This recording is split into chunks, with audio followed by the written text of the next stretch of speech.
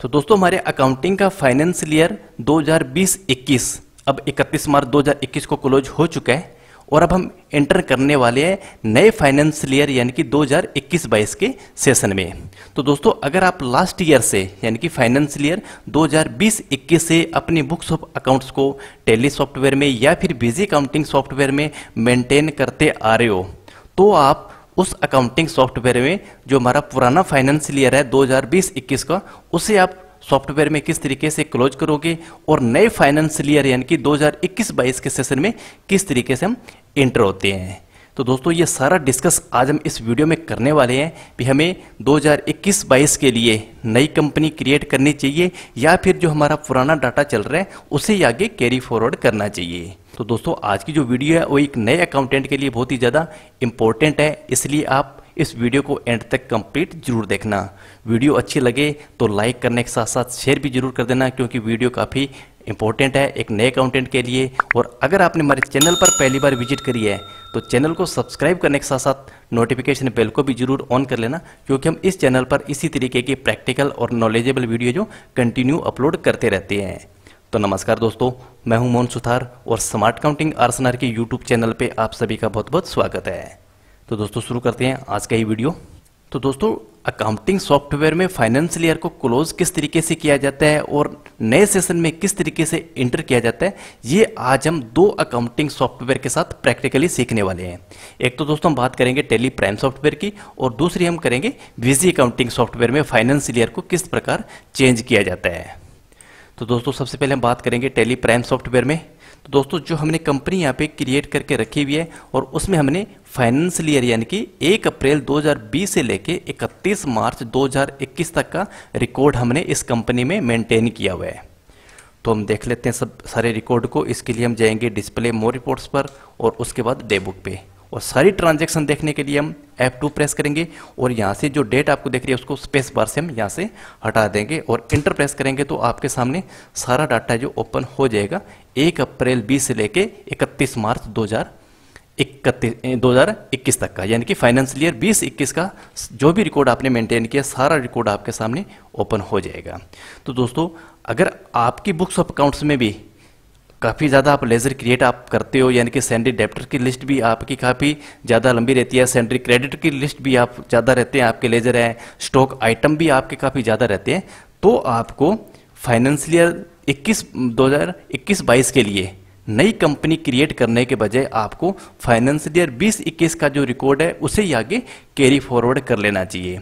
इससे होगा क्या? आपने जो भी लेज़र आप क्रिएट कर रखे हैं ऑलरेडी आपने तो वो आपको दोबारा बनाने की ज़रूरत नहीं है। जो स्टॉक आपने पहले क्रिएट कर रखी है वो स्टॉक आप 2021-22 में भी यूज़ करोगे तो वो भी आपको स्टॉक आइटम है जो क्रिएट करने की ज़रूरत नहीं है। और दूसरी बात, जितने भी उनके क्लोजिंग बैलेंस रहेंगे, वो ऑटोमेटिक आगे कैरी फॉरवर्ड हो जाके 2020-21-22 के लिए सभी का ओपनिंग बैलेंस है जो ऑटोमेटिक ही तैयार हो जाएगा। तो क्योंकि अगर आप नई कंपनी क्रिएट करोगे तो आपको नए सिरे से सारी मेहनत है जो दोबारा करनी पड़ती है। दोस्तों, अगर आपने फाइनेंशियल ईयर बीस इक्कीस के दौरान स्टॉक आइटम के नाम आपने गलत बना दिए, उनके ग्रुप के सिलेक्शन आपने गलत कर दिए, या सैंडी डेप्टर या क्रेडिटर के लेजर है वो आपने गलत क्रिएट कर दिए। अगर आप नए सिरे से नए काम को सुधार के करना चाहते हो, तब आप फाइनेंशियल ईयर 2021-22 के लिए एक नई कंपनी क्रिएट कीजिए और उसमें जो गलतियाँ आपने फाइनेंशियल ईयर 20-21 में करी थी, उसे आप दोबारा रिपीट नहीं करें। तो आपको बेनिफिट है नई कंपनी क्रिएट करने का। अगर आपका जो पुराना डाटा है फाइनेंशियल ईयर बीस इक्कीस में आपने सही तरीके से लेजर बनाए हुए हैं अंडर में सही उनका ग्रुप भी सिलेक्शन सही किया हुआ है स्टॉक आइटम का नाम, उनकी यूनिट है, उनका ग्रुप है, उनके स्टॉक की कैटेगरी है, वो सही तरीके से आपने मेंटेन करके रखी हुई है तो आपको नई कंपनी क्रिएट करने के बजाय आपको पुराने वाले डाटा को ही आगे कैरी फॉरवर्ड कर लेना चाहिए।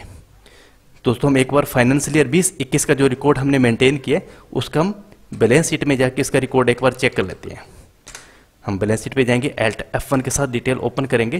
तो दोस्तों, आप देख रहे हो यहाँ पे सेंडी डेप्टर है क्रेडिटर है फिक्स्ड असेस्ट है कैपिटल अकाउंट है, सबकी डिटेल आपको शो हो रही है। तो अगर ये फाइनेंशियल ईयर इक्कीस बाईस के लिए कंपनी क्रिएट करेंगे तो सारी मेहनत तो दोबारा करनी पड़ेगी। तो इसलिए हम इसी के रिकॉर्ड को ही आगे फाइनेंशियल ईयर इक्कीस बाईस के लिए कैरी फॉरवर्ड इसको कर लेते हैं। तो टेली सॉफ्टवेयर के अंदर फाइनेंशियल ईयर क्लोज करना और नेक्स्ट फाइनेंशियल ईयर में इंटर होने के लिए सबसे पहले आपको गेट वेब टेली पे आना है। और दोस्तों, एक बात आपसे और भी करनी है। नए सेशन में एंटर होने से पहले एक बार आप अपने पुराना जो रिकॉर्ड है फाइनेंशियल ईयर बीस इक्कीस का, उसका बैकअप आप ज़रूर लेके रखिएगा। तो दोस्तों बैकअप लेने के लिए अगर आप टेली प्राइम सॉफ्टवेयर यूज़ कर रहे हो तो आपको जाना पड़ेगा डेटा के ऑप्शन पर और डेटा पे ऑप्शन जाने के बाद आपको ऑप्शन मिलेगा यहाँ पर बैकअप का। तो हम बैकअप पर इंटरप्रेस करेंगे और उसके बाद में आपको जहाँ जिस लोकेशन पर आपको बैकअप लेना है उसका पाथ यहाँ पर आपको देना पड़ेगा। तो दोस्तों, कोशिश करें भी आप सी ड्राइव को इग्नोर करें। उसके अलावा जो भी आपके यहाँ पे ड्राइव है D drive E drive F drive उसमें आप बैकअप लीजिए। तो मैं यहाँ पे एक बार डी ड्राइव के अंदर इसका बैकअप ले लेता हूँ और डी ड्राइव के आने के बाद में यहाँ पर एक फोल्डर क्रिएट लेता हूँ मैं फाइनेंशियल ईयर दो हज़ार बीस इक्कीस का। और उसके बाद में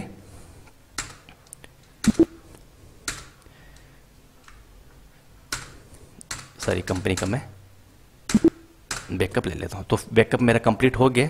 अब नए सेशन में एंटर होने के लिए गेट वेब टेली पर रहते हुए एल्ट एफ़ टू हमें प्रेस करना है। और उसके बाद में जो आपको यहाँ पे डेट शो हो रही है, एक अप्रैल 2020 टू इकतीस तीन 2021 तो अब एक चार 2020 जो आपको शो हो रहा है, यहाँ पर हम करेंगे 21 और टू में हम करेंगे 2022 यानी कि हम जो फाइनेंशियल ईयर हमारा 2021-22 का, एक चार 2021 से लेके 31 मार्च 2022 तक का हम इंटरप्रेस करेंगे।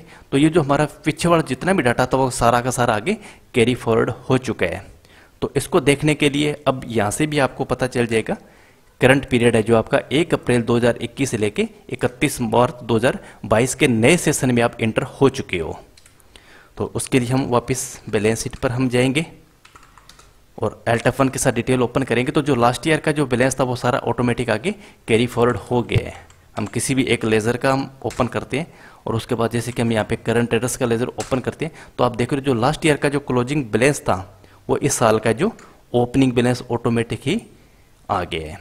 दोस्तों, अगर आप नई कंपनी क्रिएट करते हो तो सभी के ओपनिंग बैलेंस आपको मैनुअली रूप से पोस्टिंग करनी पड़ेगी। तो इसलिए सारा डाटा जो ऑटोमेटिक ही कैरी फॉरवर्ड हो चुका है। आप कैपिटल अकाउंट का बैलेंस देख सकते हो, इसका भी। ओपनिंग बैलेंस आ गया है। इसी तरीके से आप स्टॉक समरी अगर आप जाके देखोगे तो जो लास्ट ईयर का जो क्लोजिंग बैलेंस था, वो भी आपका ओपनिंग आ चुका है। हम इसको बार एफ़ बारह प्रेस करेंगे और उसके बाद में show opening balance goods inward और आउटवर्ड अगर हम देखेंगे तो आप देख रहे हो सभी का ओपनिंग बैलेंस आपको शो हो रहा है। न तो हमने इस बार कोई परचेज करी है सेशन में और नहीं कोई सेल करी है। तो आपका जो लास्ट ईयर का क्लोजिंग बैलेंस इस ईयर का ओपनिंग बैलेंस आ गया और अभी तक हमें एजीटीजी क्लोजिंग बैलेंस ही शो कर रहा है क्योंकि हमने फाइनेंशियल ईयर 21 22 के दौरान अभी तक कोई ट्रांजैक्शन नहीं करी है, न परचेज की करी है और नहीं सेल की करी है।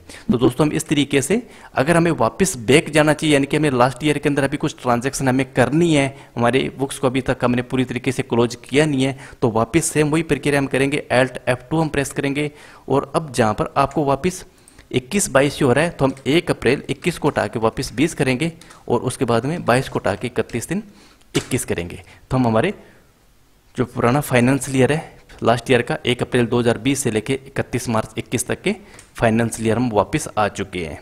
तो अगर हम जो भी यहाँ पर एंट्री करेंगे, वो नेक्स्ट ईयर में ऑटोमेटिक ही जो कैरी फॉरवर्ड हो जाएगी। और अब हम बात करते हैं बिज़ी काउंटिंग सॉफ्टवेयर में। तो बिज़ी काउंटिंग सॉफ्टवेयर में हम फाइनेंशियल ईयर चेंज किस तरीके से करते हैं तो इसके लिए हमें जो हमें एक मेन्यू बार में दिख रहा है, एडमिनिस्ट्रेशन, इस पर हम क्लिक करेंगे और इस पर क्लिक करने के बाद आपको एक ऑप्शन यहाँ पर शो होएगा, चेंज फाइनेंशियल ईयर का। हम चेंज फाइनेंशियल ईयर पर आके एंटर प्रेस करेंगे। तो उसके बाद आप देख रहे हो भी यहाँ पर आ गया न्यू ईयर फ्रॉम एक अप्रैल 2021 यानी कि अभी जो करंट पीरियड हमारे पास चल रहा है फाइनेंशियल ईयर, वो ऑलरेडी 2020-21 का ही ओपन है। तो 20-21 अगर क्लोज होएगा तो वो इक्कीस बाईस के सेशन में ऑटोमेटिक ही इंटर हो जाएगा। और हम यहाँ पर इंटर प्रेस करेंगे। और इंटर प्रेस करने के बाद यू आर गोइंग यहाँ पर एक हमें मैसेज मिलेगा you are going to create a new financial year starting from एक अप्रैल 2021 तो हम बिल्कुल इसे यस करेंगे ओके करेंगे और ओके करने के बाद आपको यहाँ पे स्टार्ट पर क्लिक करना होगा।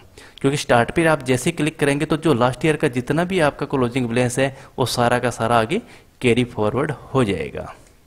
और इसे हम करेंगे स्टार्ट पे क्लिक तो आप देख रहे हो यहाँ पे स्टार्टिंग है जिसकी जो प्रोसेस है वो स्टार्ट हो चुका है नेक्स्ट ईयर के लिए। और लास्ट में अपडेटिंग बैलेंस का ऑप्शन आएगा। ये सब कुछ आप बिज़ी अकाउंटिंग सॉफ्टवेयर अपने आप फॉरवर्ड इसको करेगा, आपको कुछ नहीं करना। और उसके बाद इस तरीके का एक सक्सेसफुली मैसेज आपके पास आ जाएगा भी फाइनेंस ईयर चेंज सक्सेसफुली और इस पर हम ओके प्रेस करेंगे।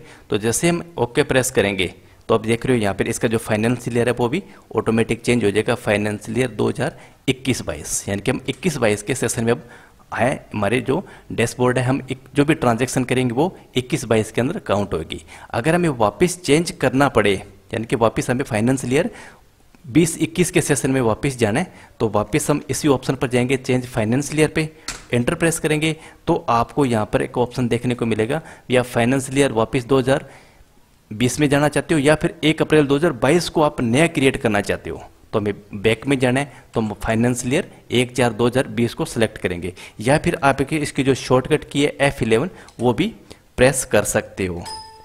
तो स्विच टू फाइनेंशियल बीस इक्कीस इसको यस करेंगे। तो हम जैसे ही यस करेंगे फाइनेंशियल ईयर स्विच सक्सेसफुली हो गया और इसको ओके करेंगे तो यहाँ पे फाइनेंशियल ईयर बीस इक्कीस है जो ऑटोमेटिक आपके सामने आ जाएगा।